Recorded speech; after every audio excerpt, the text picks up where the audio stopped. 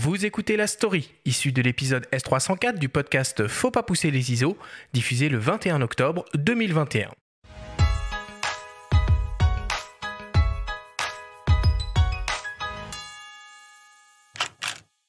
Fake news.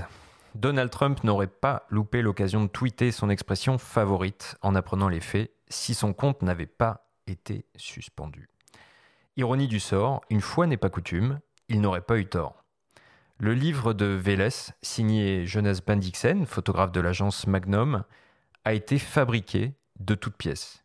Les textes Générés à l'aide d'algorithmes d'intelligence artificielle. Les photos Elles ont bel et bien été prises sur place, dans la ville de Vélez, en Macédoine du Nord, mais tous les sujets, animaux ou êtres humains, ont été modélisés en 3D par l'auteur lui-même. Le sujet paraît pourtant plus vrai que nature.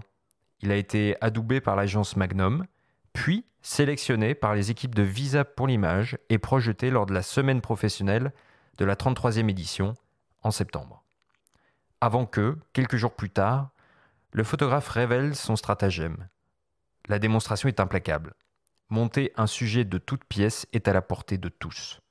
La méfiance, la vérification des sources est plus que jamais de mise, même lorsqu'il est question d'un photographe établi comme lui.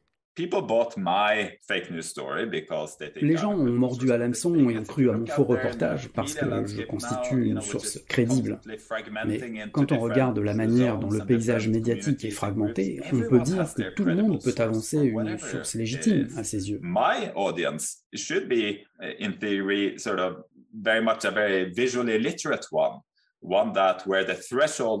A priori, les gens qui me suivent ont une culture de l'image assez poussée. Ce qui suggère que les chances qu'un sujet tel que je l'ai monté a normalement peu de chances de passer sans éveiller de suspicion, alors qu'il passerait inaperçu auprès d'autres communautés n'ayant pas ce niveau de culture visuelle. Et c'est bien là tout le problème. Face à l'afflux d'informations, il rappelle combien la prise en compte du contexte est essentielle pour que le photojournalisme conserve ses lettres de noblesse aussi bien au niveau local que mondial.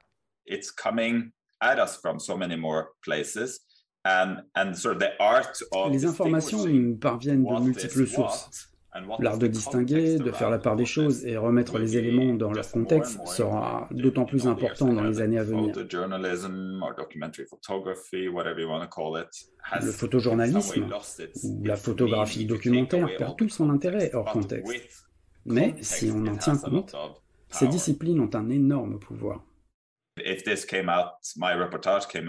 Si mon sujet avait été publié dans un journal à Vélez, les habitants se seraient demandé pourquoi il y a des ours sur certaines images alors qu'ils n'en ont jamais vu autour de la ville.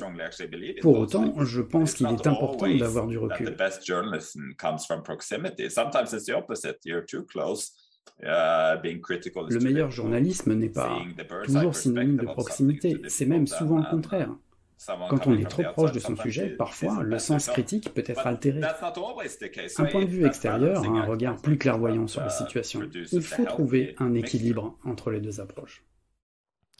Par la voix d'un communiqué, Jean-François Leroy, le directeur de Visa pour l'image, a exprimé sa stupéfaction et présenté des excuses au public.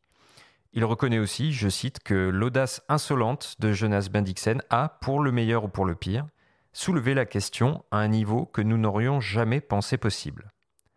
Conscient de l'émoi qu'il a suscité, le photographe insiste sur la nécessité de mener une lutte commune avec les équipes du Festival international du photojournalisme pour défendre la profession.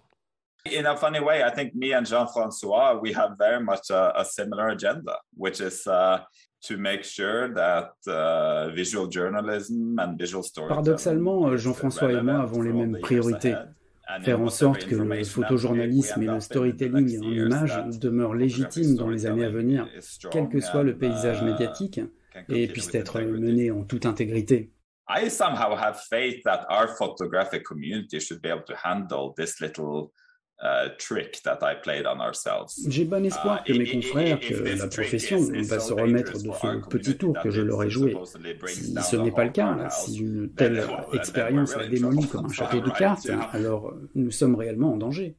Soucieux de la portée éducative de Visa pour l'image et de clarifier les intentions de Ben Dixon, Jean-François Leroy promet un débat à Perpignan l'année prochaine.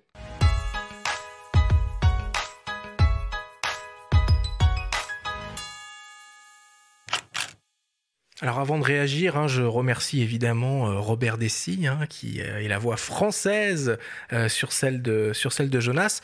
Benjamin, moi j'aimerais beaucoup entendre le point de vue de Jean-François Leroy sur tout ça. Et oui, Jean-François, on l'a contacté, il refuse pour l'instant de s'exprimer, il nous renvoie à son communiqué diffusé sur Facebook en septembre. Il est évidemment très en colère, furieux, et quand on le connaît, on imagine un petit peu l'état dans lequel il est. Il donne rendez-vous l'année prochaine comme évoqué dans, la chronique, pour un débat sur le sujet pendant le festival. Il est évident que cette démonstration euh, n'a pas pu à tout le monde, mais elle a le mérite d'amener le, le vrai sujet sur la table qui est la vérification des sources et la vérification des informations. Il faut juste rappeler une chose, c'est que la plupart des photos ont bien été prises sur place à Vélez.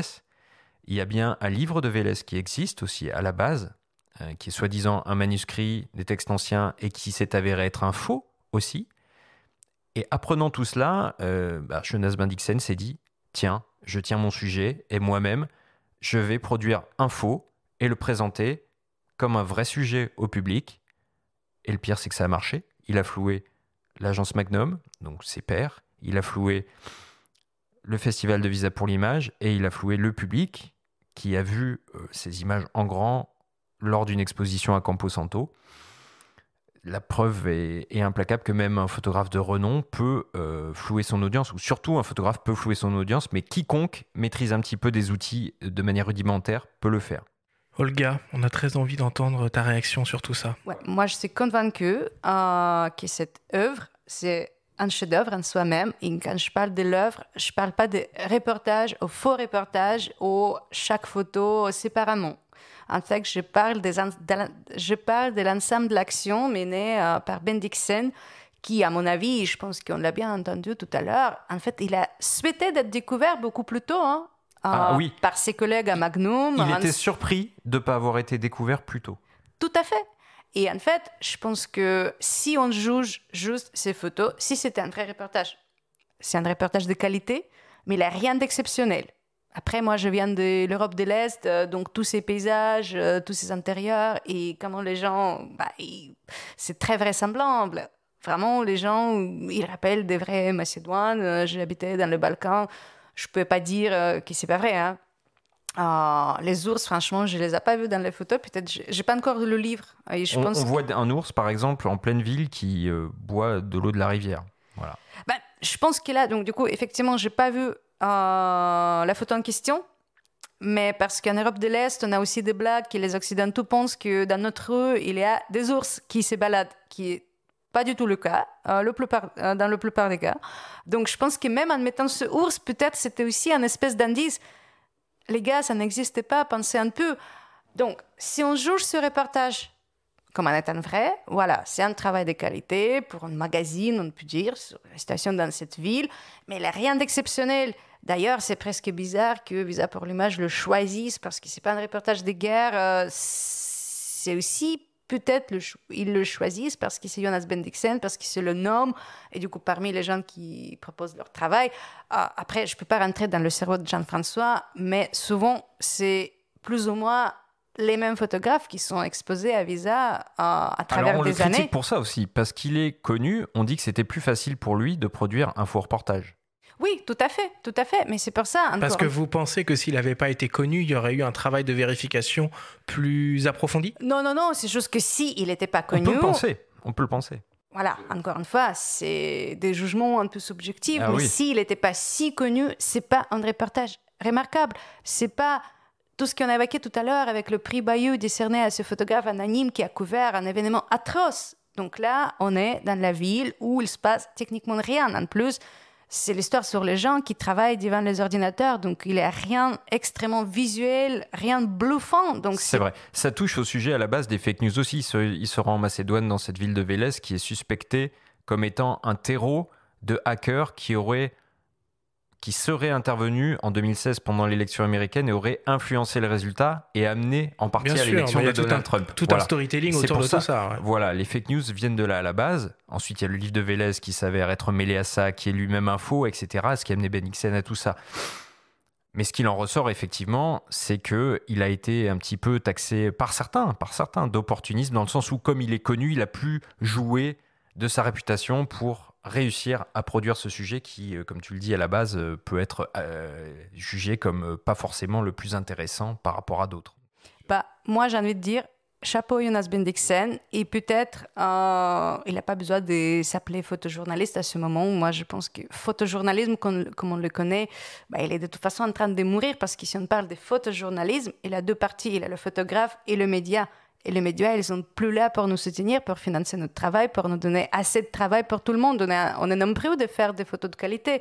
Et donc, c'est-à-dire, par contre, si on parle de Jonas Bendixen comme un plasticienne, comme auteur euh, dans le cadre de l'art moderne, mais il a passé un cas. Il est arrivé à l'autre niveau. Et franchement, merci à lui d'avoir fait ce test sur notre communauté pour qu'on comprenne que c'est tellement facile de nous faire arnaquer. Et si nous, on peut se faire arnaquer tellement facilement, bah, qu'est-ce qui va devenir aux spectateurs Donc merci à lui pour vraiment avoir soulevé cette problématique. Il faut qu'on en parle. Et une dernière chose qu'il faut préciser, tu parles d'œuvre, tu as raison, cette œuvre reste en vente et disponible à la vente. Le livre de Vélez de Jeunesse Bendixen peut être acheté, en sachant tout le travail qu'il y a derrière, que c'est un faux, qu'il a suivi lui-même des cours sur YouTube pour modéliser ses personnages et pour bidonner les textes, et qu'il a tout fait lui-même, c'est une œuvre qui est disponible. Alors peut-être qu'il pourra même pousser euh, le curseur un poil plus loin et vendre les modélisations de 3D de ses personnages en NFT pour aller un petit peu plus loin euh, dans son process. Tu peux, lui soumettre l'idée. Tu peux lui soumettre l'idée. Mais après, tu, tu mérites Futur une agent de, de Ben Dixon. Attention, chez Magnol quand même. Hein. Bon. ok, bon, en tout cas, merci beaucoup Benjamin pour cette story. Euh, c'est un sujet, c'est un sujet qui est passionnant et je pense qu'on aura l'occasion d'y revenir dans les semaines ou dans les mois à venir.